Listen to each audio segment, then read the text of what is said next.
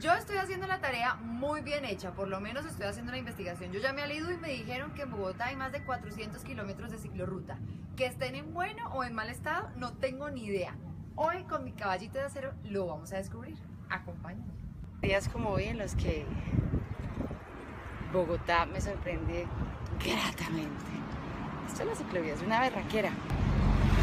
Cuando nos volvamos a encontrar, contemplar la madrugada.